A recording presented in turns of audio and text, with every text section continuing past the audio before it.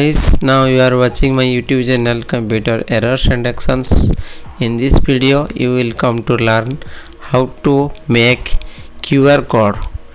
Any youtube links or any serial numbers etc just i am making my youtube channel link with qr first of all you have to download a qr code generator which was completely free in different sites see this is my downloaded software QR code generator. Just I am double click on exe file.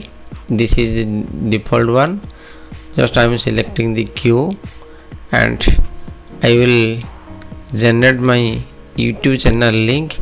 Just I am opening my YouTube channel link. Just watch it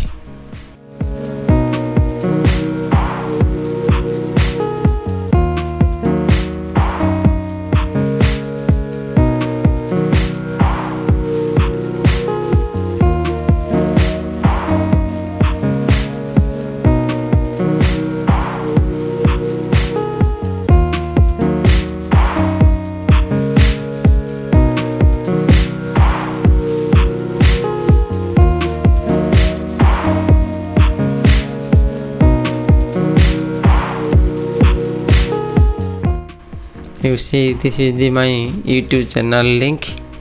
I have already click here and i copied this link. And paste in the blank here. And you are make it QR code. And click here to save the QR code as JPG file and you can paste it at anywhere or print it. Then you have to save this QR code and when you going to scan it will be show the details link. Just you test it is very easy to test with google lens. Just open the qr code and open your mobile google lens app and scan the picture. Then tap it on and the link will be automatically opened. Thank you guys. As you are watching my youtube channel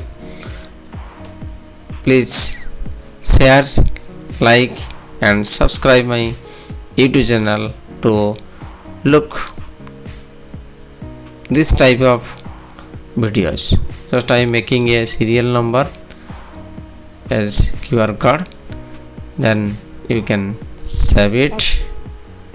I am showing you the two examples and you can make it. Thank you guys as you are watch, watching my youtube channel